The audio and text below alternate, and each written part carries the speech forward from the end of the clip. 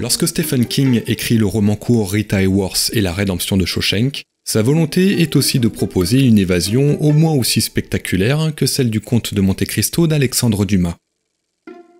Andy Dufresne ne recherche cependant pas la vengeance, mais simplement à vivre.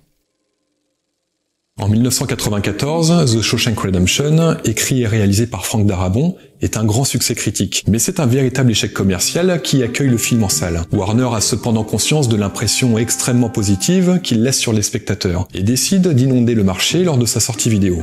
Contre toute attente, Les Évadés de son titre français devient la vente numéro 1 aux États-Unis. Depuis, il est souvent considéré comme l'un des plus grands films de l'histoire du cinéma. Mais avant de rentrer dans le vif du sujet, je vous propose de retrouver notre ami Benoît Allman, la voix officielle de Morgan Freeman dans le film original, narrant un texte tout à fait à propos sur la liberté. Qu'est-ce donc que l'esprit de liberté? Je ne peux pas le définir. Je ne peux que dire ma propre foi. L'esprit de liberté est l'esprit qui n'est pas trop sûr d'avoir raison L'esprit de liberté est l'esprit qui cherche à comprendre l'esprit des autres hommes et femmes, qui pèse leur intérêt avec les siens sans parti pris. Que voulons-nous dire quand nous disons que nous recherchons avant tout la liberté? Je me demande souvent si nous ne reposons pas trop nos espoirs sur les constitutions, sur les lois et sur les tribunaux ce sont de faux espoirs.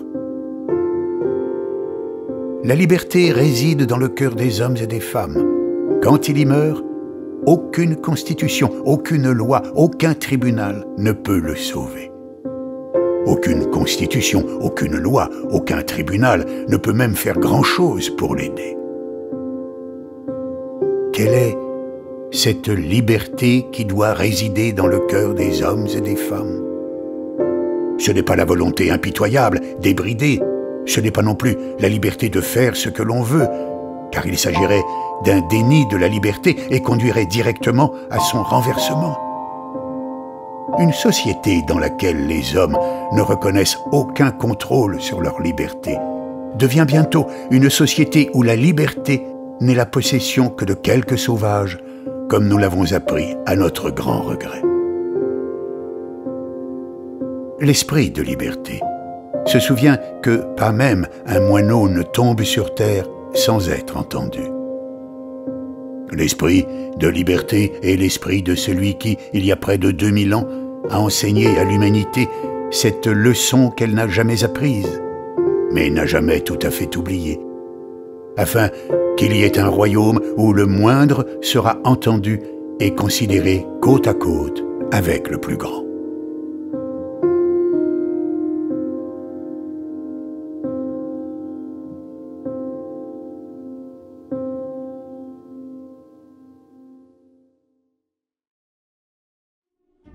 Le succès du film peut se résumer assez facilement. Authentique, touchant et extrêmement bien construit, il donne aussi une lecture moderne des notions de liberté, d'espoir et d'humanisme. Et c'est d'ailleurs souvent ce que cherchent à transmettre les récits mettant en scène le milieu carcéral. Parfois inspirés de faits réels, que cela soit dans des prisons classiques comme Alcatraz ou Attica, ou des bagnes sordides comme l'île du diable. Dans tous les cas, la privation de liberté est un dénominateur commun, et la manière dont cela est orchestré en dit souvent long sur notre propre humanisme.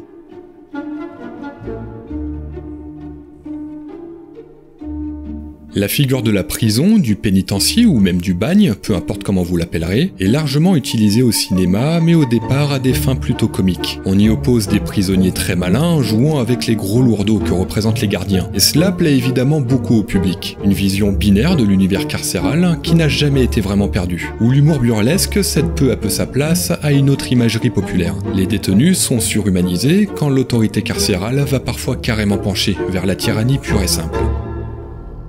Il convient alors de se dresser contre l'injustice que va paradoxalement représenter l'autorité judiciaire qui est décrite comme inégale, voire expéditive, quand elle ne s'applique tout bonnement pas à des innocents par erreur. Cette lecture peut paraître simpliste, mais quand un humaniste comme Learnen End expose sa vision des choses, il admet qu'un contrôle sur la liberté permet paradoxalement de la préserver. C'est la grande crainte induite par cette notion pourtant fondamentale dans des sociétés qui ne se veulent pas anarchiques, acceptant des règles parfois très coercitives pour le bien fondé du fameux vivre ensemble.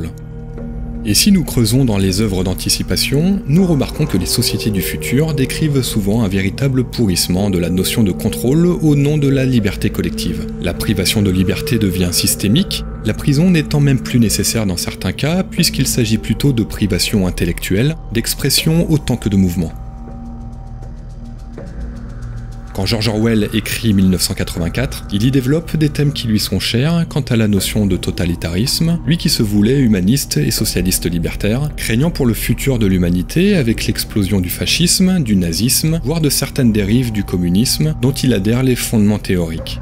George Lucas, jeune révolté contre le gouvernement américain et la guerre du Vietnam, va de sa vision très marquée du totalitarisme à combattre avec la première version d'Apocalypse Now, mais aussi avec le dystopique THX 1138, l'impérialisme de Star Wars, et le nazisme voulant s'accaparer les trésors de l'humanité dans Indiana Jones. La vision orwellienne de ce futur déliquescent se traduit aussi au travers d'autres œuvres, culminant avec les visions modernes de Matrix ou V pour Vendetta, ou amenant une notion d'apocalypse comme dans Les Fils de l'Homme. Le monde à l'envers, enfin, avec Escape from New York, où c'est une ville entière qui est privée de liberté, plongée dans l'anarchie totale en opposition à l'extérieur cadenassé de toutes parts de la société. Aucun des deux modèles ne semble pourtant plus séduisant que l'autre quant à la notion de liberté. Le plus célèbre récit du genre est l'œuvre d'Alexandre Dumas, Le Comte de Monte Cristo, la quête de vengeance d'un jeune homme emprisonné à tort au château d'If, une petite île transformée en fort pénitencier, aux conditions de détention exécrables. La spectaculaire évasion d'Edmond Dantès est sans doute l'un des passages les plus célèbres de la littérature française dans le monde. Au-delà de la fascination qu'elle exerce sur les lecteurs, cette évasion est le point culminant de 14 terribles années d'enfermement. Même si le jeune homme est innocent, cette expiation forcée va lui permettre de littéralement renaître. La privation de liberté, quand elle se révèle injuste, se reflète dans les récits du genre comme un contrepoids essentiel à la notion même d'humanité. La Grande Évasion, réalisée en 1963 par John Sturges, est l'histoire vraie de prisonniers de la Seconde Guerre mondiale mettant en œuvre des moyens logistiques importants pour s'évader. La résistance au totalitarisme est ici d'une importance capitale, puisque l'ennemi, les nazis et l'armée allemande, confèrent aux héros une légitimité historique et morale hors du commun dans leur démarche d'évasion. La question serait alors de savoir si cette légitimité serait accordé de la même façon à des soldats lambda du camp inverse, ce que montre avec brio Furio de Nagisa Oshima, qui renverse la situation en dépeignant finalement toute l'humanité torturée de Genko Hara lors de la séquence finale. Quelques années après, Steve McQueen revient dans ce qui pourrait être son meilleur rôle, Papillon. Le film est l'histoire vraie d'Henri Charrière au bagne de la Guyane française. Des conditions de détention extrêmement difficiles et provoquant de graves infirmités, la folie ou même la mort. Charrière tente de s'évader mais finit par être attrapé, tout comme son alter ego également interprété par McQueen dans La Grande Évasion. Déplacé sur la célèbre île du diable, il tente le tout pour le tout pour retrouver sa liberté. Une forme de renaissance, à l'image d'Edmond Dantès échappant au château d'If, ou plus symboliquement de la chenille prenant son envol forme d'un papillon. L'autre grande et belle évasion, également issue d'un récit tout ce qui est plus vrai, est celle de Frank Morris d'Alcatraz en 1962. Si le film se complaît dans une représentation finalement assez neutre de l'univers carcéral, avec des gardiens plutôt sympas et des conditions de détention assez souples, il permet de poser de nouveaux jalons quant à la définition même de l'évasion spectaculaire dans l'imagerie populaire, en partie par sa grande modernité. C'est le système pénitentiaire lui-même, dans sa grotesque défaillance à la fois humaine et matérielle, qui permet l'évasion de Morris et de ses camarades, qui n'ont d'ailleurs jamais été retrouvés.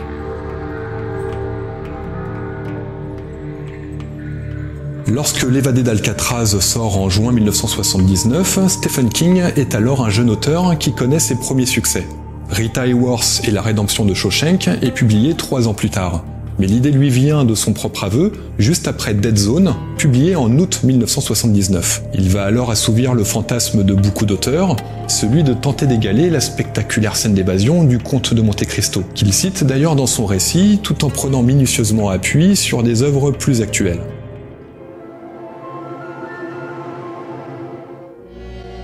Cette figure de la Renaissance, que l'on peut contempler de bien des manières dans des films comme Midnight Express, American History X ou Old Boy, sur des plans plus politiques, identitaires ou sociaux, se retrouve de la plus belle des façons dans The Shawshank Redemption, mais qui met d'abord à l'épreuve le jugement du lecteur ou du spectateur quant à la nature réelle du crime d'Andy Dufresne? Un homme perçu comme froid, peu enclin aux émotions et par ailleurs travaillant dans le milieu bancaire. Avant de perdre sa liberté, Andy perd littéralement son humanisme dans un monde ne laissant pas la place au libre arbitre, forçant les individus à se conformer au carcan de la société moderne et de sombrer dès qu'ils ne savent pas y faire face.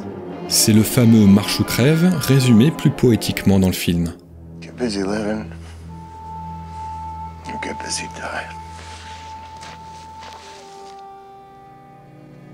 Et c'est précisément comme un reflet de cette société aliénante que Shawshank s'impose à Andy. Sa nouvelle vie carcérale ne semble au final pas être très différente de sa vie passée. On arrive à Shawshank comme on arrive au monde, une figure habituelle dans les films du genre, à l'image de Papillon et de la longue traversée de l'océan dans des conditions horribles. Peut-on alors parler de purgatoire, vers une nouvelle strate de l'existence humaine? Dépouillé de toute identité, l'individu en prison est alors mis à nu, grossièrement lavé, humilié, on lui balance du désinfectant comme du talc à un nouveau-né, et s'il ne perd littéralement pas la possession de son corps, pour les condamner à perpétuité, cela équivaut à une longue mise à mort plus qu'à un nouveau départ. Lors de la première nuit à Shawshank, un homme est alors battu à mort par le gardien Byron Hadley. C'est sans remords ou presque que l'identité même de l'homme est balayée d'un revers de main. Il n'était déjà plus personne en arrivant.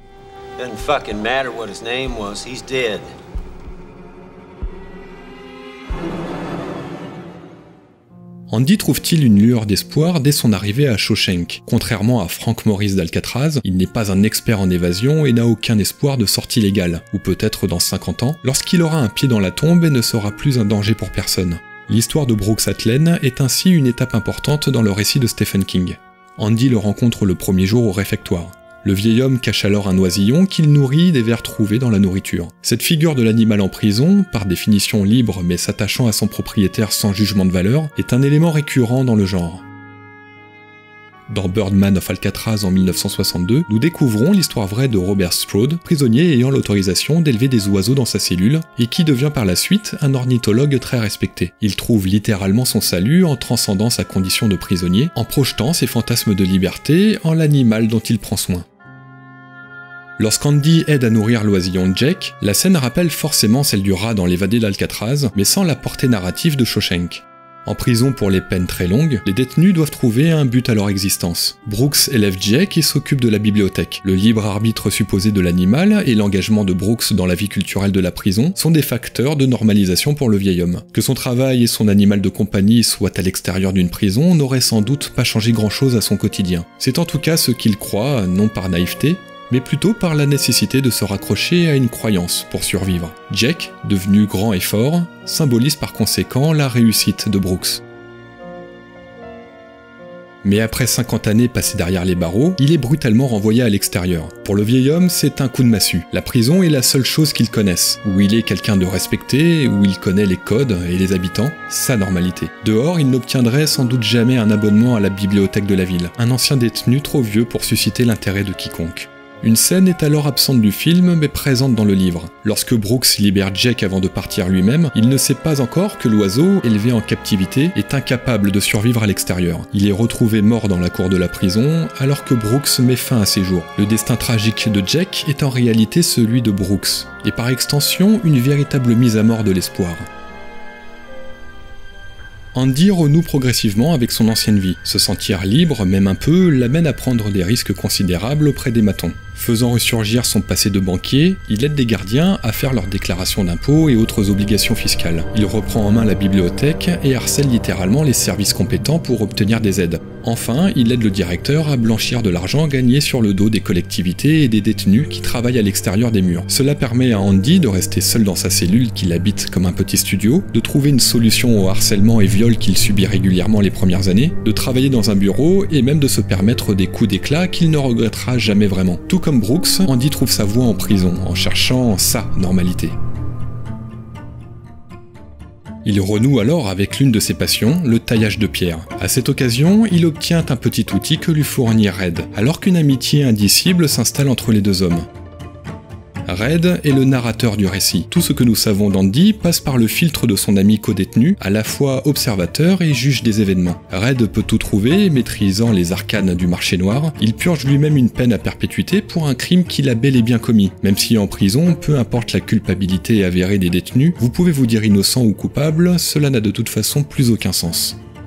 Si tout semble les opposer au départ, une amitié naît, personnifiée par les jeunes actrices qui ornent le mur de la cellule d'Andy que Red lui fournit à période régulière. L'ancien banquier a beau paraître froid, d'une condition et d'un milieu sans doute bien différents de Red à l'extérieur, il dévoile une forme de candeur et de sobriété qui plaît immédiatement. Sans doute qu'Andy n'a jamais réellement perdu l'espoir en arrivant à Shawshank, affrontant l'adversité sans broncher et tentant tout ce qu'il pouvait pour retrouver ce sentiment de normalité. Mais Red ne croit pas du tout aux vertus de l'espoir, ce qui devient une source de réel désaccord entre les deux hommes. Lorsque Tony Williams, jeune homme dans le style des années 60, arrive à Shawshank, presque 20 ans se sont écoulés. Le choc est d'autant plus palpable que la routine semble s'être définitivement installée, et même si la raison est plus pratique que réellement narrative, le fait que seuls Andy et Red semblent vieillir, épargnant le maton, le directeur et les autres détenus, incite à penser que le temps n'a pas de prise à Shawshank de leur point de vue. Mais cette fausse relation vertueuse que semble avoir le temps et les habitudes écoulant de la normalisation ou l'institutionnalisation ne prend pas pour Andy, car l'homme est réellement innocent. Et la possibilité d'un nouveau procès, suite aux révélations fracassantes du jeune Tommy, va réveiller la fureur du directeur Samuel Norton, qui a littéralement réduit Andy en esclave enfermé dans une cage dorée. Il ne souhaite non seulement pas le voir libre, mais peut aussi très largement détruire tout ce qu'Andy a construit pendant ces deux décennies de détention. La mort de Tommy va briser Andy. L'homme reculait alors peut-être son évasion, car si l'espoir porte ses pensées et ses actes, il devient lui-même un petit peu institutionnalisé, tout comme l'était Brooks, en s'occupant de la bibliothèque et en prenant sous son aile le jeune Tommy et d'autres détenus pour leur faire passer des diplômes, un peu à l'image de l'abbé Faria pour Edmond Dantès dans le Comte de Monte Cristo. Mais contrairement à Brooks, Andy n'a en réalité jamais perdu l'espoir de voir sa vie s'épanouir à nouveau en dehors des murs de la prison. Andy ne s'échappe en réalité pas plus d'une prison sordide que d'une vie qui n'était pas faite pour lui. Shawshank était son purgatoire et Zihuatanejo son paradis. En plus de proposer une évasion spectaculaire car construite sur plusieurs décennies, Andy utilise littéralement les ficelles légales et juridiques de la société l'ayant enfermé pour organiser sa sortie, provoquant avec sa disparition la chute de Norton. Mais au-delà de ce que certains pourraient voir comme une vengeance bien orchestrée à la manière d'un conte de Monte Cristo, Andy aura un rôle bien plus profond auprès d'un autre protagoniste, car la rédemption de Shawshank est avant tout celle de Red, le narrateur du récit.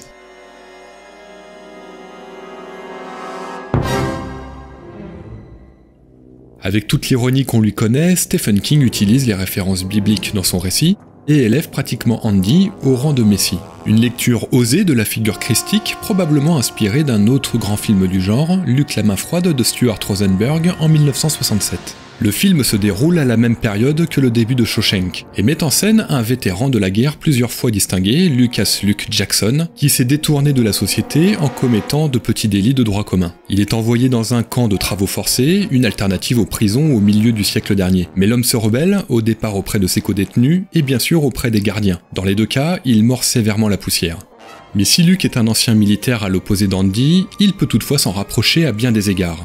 Son comportement vis-à-vis de l'autorité du camp finit par lui faire gagner le respect de ses camarades. Dans un pari absurde visant à manger 50 œufs d'affilée, il montre un orgueil démesuré face à ce qui est perçu comme impossible, un peu à l'image d'Andy harcelant les services culturels pour obtenir des fonds pour sa bibliothèque carcérale, à une époque où la notion de réhabilitation n'existait pas. Dans les deux cas, le pari est réussi, et si cela peut paraître futile, la démarche permet aux protagonistes d'être perçus différemment, notamment de la part des spectateurs, et Luke de prendre immédiatement une posture christique, plus subtilement sous-entendue quand Andy diffuse dans la prison ce que le directeur ne souhaite absolument pas procurer aux prisonniers. Luc subit également de sévères réprimandes, et nous retrouvons encore et toujours la figure du Messie, dont l'abnégation face au traitement subi est d'autant plus impressionnant que l'homme n'a commis que des délits très mineurs. Difficile alors, en mettant en parallèle le sort subi par Andy, de ne pas rapprocher ces traitements de la crucifixion de Jésus, perçu comme une réponse totalement disproportionnée. Comme lui, Luc et Andy gênent la société dans laquelle ils tentent de trouver une place. Dans les deux cas, leurs actions ou leurs paroles sont perçues comme un danger pour l'ordre établi. Luke s'adresse directement à Dieu, et plusieurs références à Jésus sont esquissées dans le film. Jusqu'au final, où l'acte de crucifixion, après la trahison de Dragline dans le rôle de Judas, intervient pour clore le parcours du personnage. La fin de Luke la main froide montre alors son héros, en transparence avec la figure de la croix très clairement exposée au spectateur. La fonction de rédempteur de Luke pour ses camarades ne fait aucun doute. Par son action, sévèrement punie, il ouvre la voie à de nouveaux horizons, en montrant que peu importe les carcans de la société, y trouver sa place tout en protégeant son individu reste possible si l'on y croit.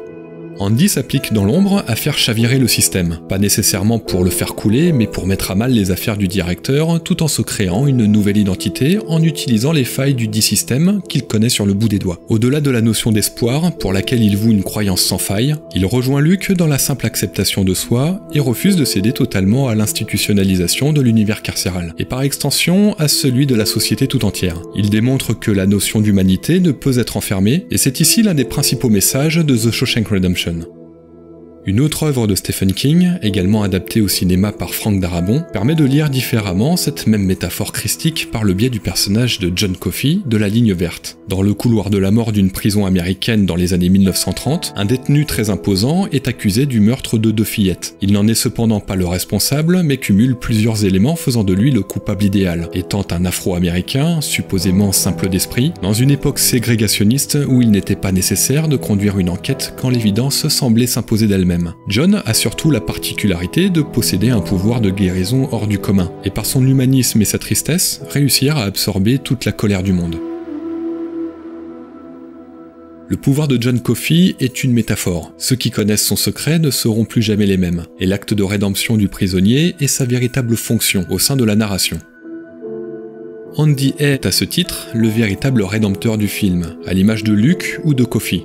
Durant son temps dans la prison, 30 ans dans le livre et 20 ans dans le film, il participe à l'amélioration du centre pénitentiaire, pas nécessairement par des actes directs, mais par l'influence de sa propre croyance et de sa résistance sur le monde l'entourant. Il fait cesser les viols au moins pour lui et son entourage, il développe une sublime bibliothèque, permet de meilleures conditions à ses codétenus et aide même l'intégralité des gardiens dans leurs déclarations fiscales. En faisant tomber le vieux système que représente le directeur Norton, Andy contribue plus que jamais à rendre le monde meilleur, car Shawshank, avant d'être une prison, est un véritable microcosme. L'allégorie d'un monde sécurisé, surveillé, où la menace vient à la fois des habitants comme de l'autorité, où l'on y dort, y vit, y mange, y travaille, abonde dans le sens de la figure christique d'Andy.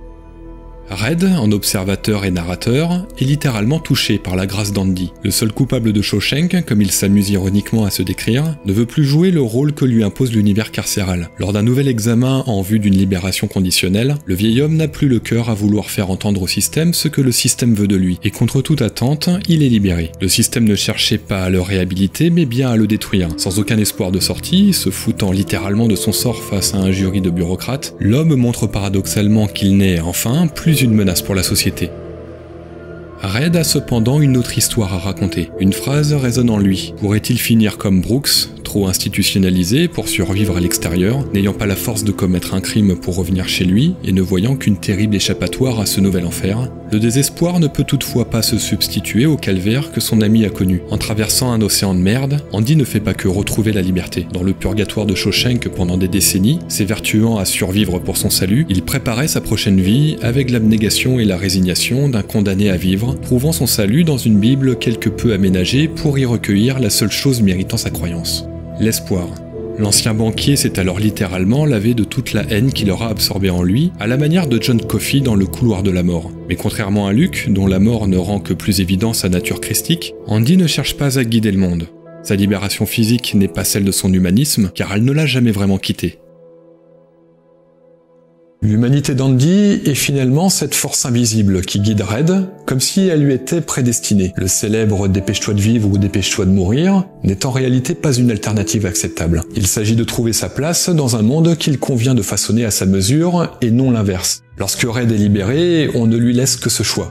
Vivre dans la peur ou mourir comme Brooks. Mais l'espoir, symbolisé par l'obsidienne qu'il part rechercher sous un chêne immortel, est ce qui va finalement lui permettre d'avancer. Ziwatanero est l'antithèse de Shawshank, une sorte de paradis perdu où la liberté, l'espoir et l'humanisme ne sont que de vieilles formules qui n'ont plus réellement d'importance. Là-bas, les deux amis ne peuvent que contempler les décennies perdues dans l'immensité de l'océan. Ils ont désormais tout le temps de vivre et de mourir, comme un rêve étrange s'effaçant peu à peu au rythme des vagues sur le rivage.